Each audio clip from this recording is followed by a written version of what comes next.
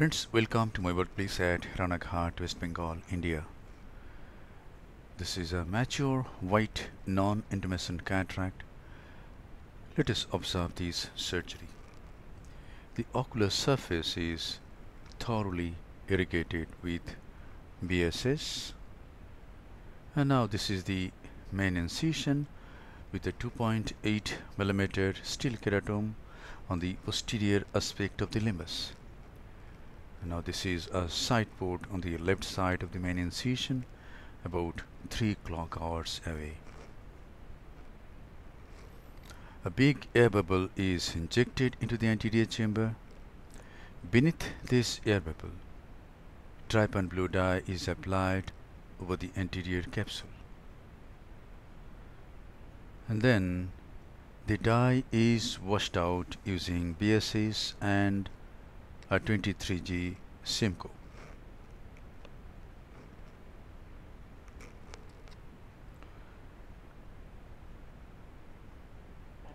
Two percent hydroxypropyl methyl cellulose is then injected to fill off the anterior chamber.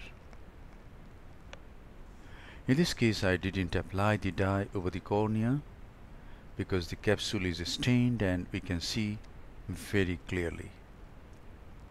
With the tip of the Utrata forceps the anti-capsule is scratched, a capsular tag is raised, this tag is guided anti-clockwise all around and a continuous curvilinear capsulorhexis is done.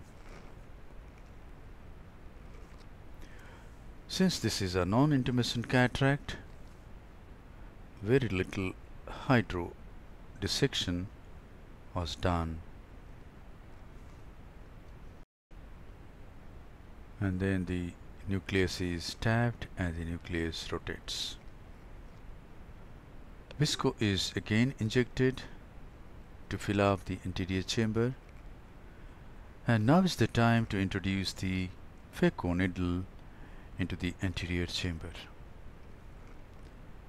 The needle goes bevel down, some superficial cortical lens matter is aspirated and then the tip is buried into the substance of the nucleus goes through the nucleus towards the opposite equator and then the nucleus is held very firmly and the chopper is used to divide the nucleus into two heminuclei.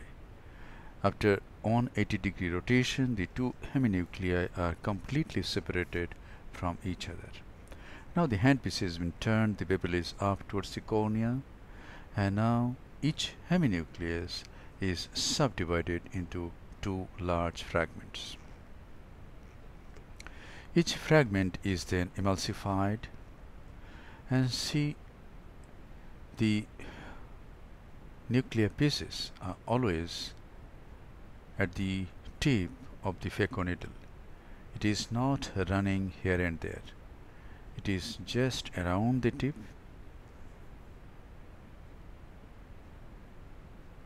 This is the other heminucleus. It is also divided into two large fragments. Each large fragment is then emulsified and the piece remains around the nucleus all the time. If necessary, these large nuclear pieces can be divided into smaller pieces, but most of the time it is not necessary.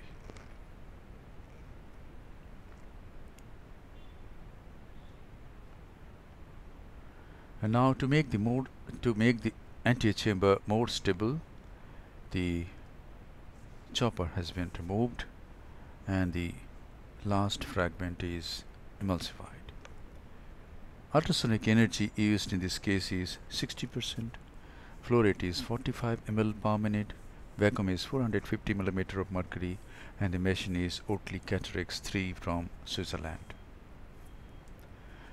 And now cortical cleanup is being done with the with this instrument. This is a 23 gauge Simcoe Since we have only one side port, we can use this instrument or a coaxial irrigation aspiration. But this instrument goes through the side port, a coaxial doesn't. So removal of cortex from just beneath the main wound is easier with this instrument.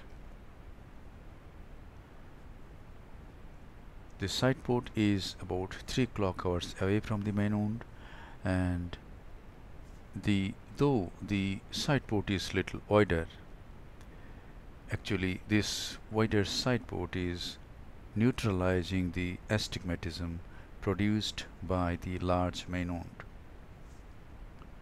neutralizing to some extent. And now after enlarging the main wound a little bit this is a hydrophobic acrylic single piece monofocal intraocular lens and the lens has gone into the capsular bag.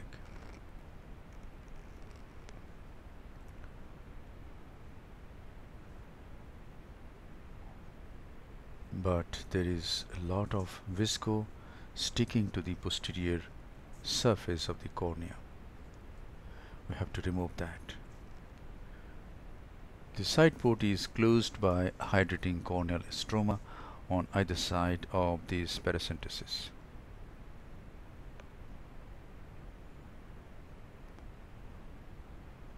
Now the final lavage of the anterior chamber.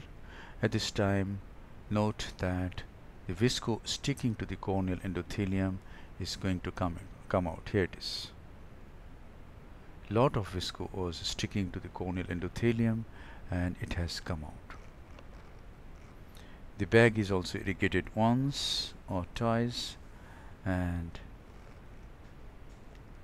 we leave the anterior chamber very clean at the conclusion of surgery The integrity of all the wounds are checked by a cotton taped Johnson Bard. Few drops of moxi is applied over the cornea and the case is concluded. Thank you very much for your attention. Hope this video will help you in developing your surgical skills. Be a great surgeon and serve your patients with love, respect, empathy and great surgical competence.